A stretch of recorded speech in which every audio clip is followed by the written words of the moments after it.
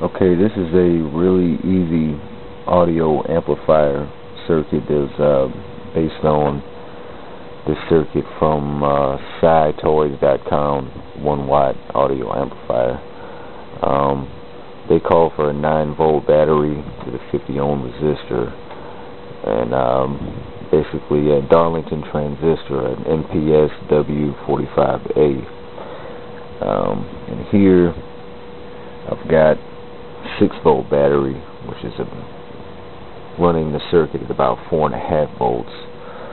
And um, two small NPNs I believe 2 4401s and then this larger is a TIP 31 I think.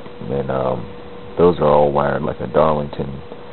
Uh, but this larger one kind of helps serve as a, somewhat of a heat sink also.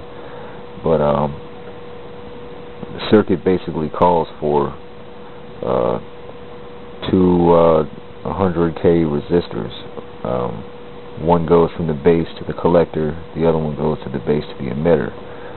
And um, basically gets the amplification going in the transistors, and then you take your audio input and you run um, one of your signal lines to the base and um, as it is right now with the four and a half volts so we go ahead and on.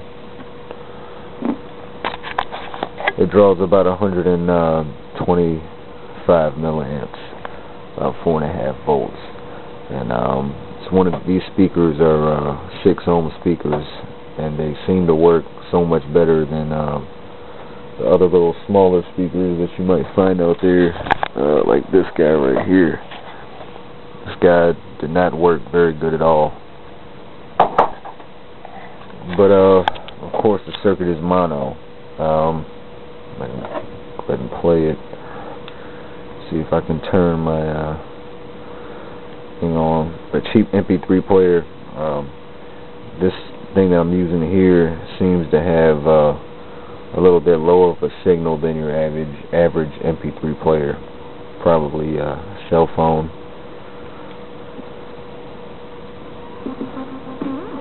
Let's see, hear the music coming out of the speaker.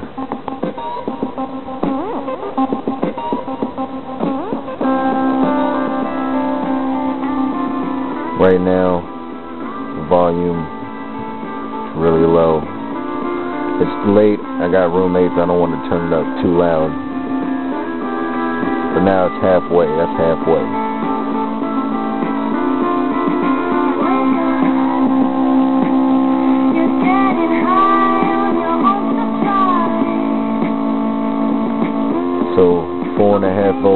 130 milliamps.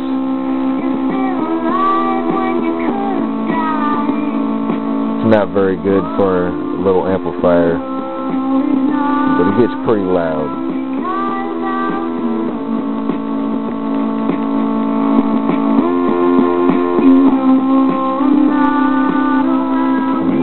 Cut that back down.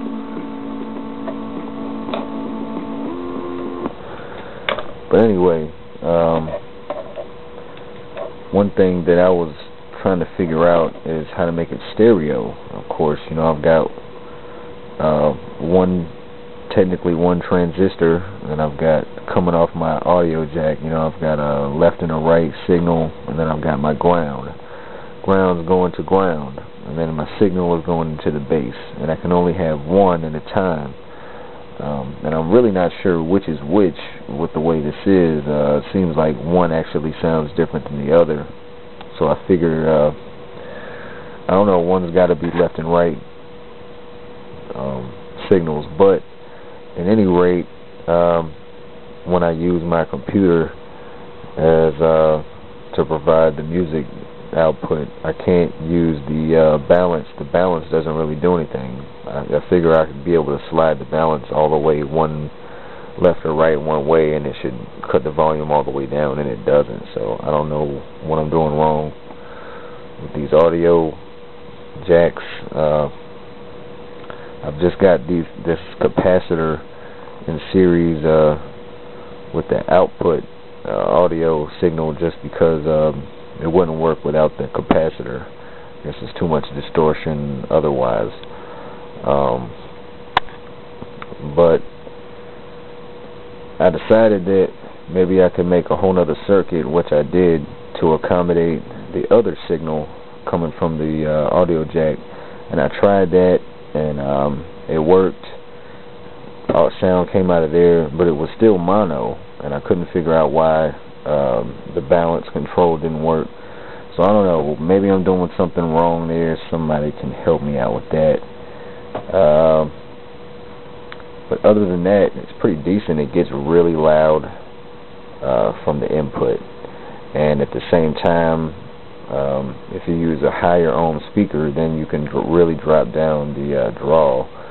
So you can use maybe like three AA batteries, and um, they won't die very fast.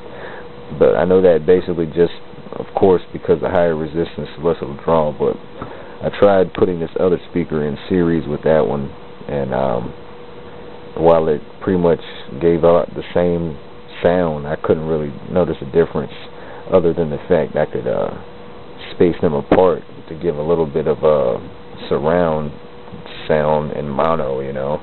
Um, it did drop the drawdown a lot, of course. Uh, so that's one benefit of either having a higher ohm speaker or um, having more than one. Uh, but that would defeat the purpose of making it portable. But at any rate, um, that that was a pretty little decent deal. Uh, very simple. Um, Psi, CSI, or uh, SCI-TOYS.com.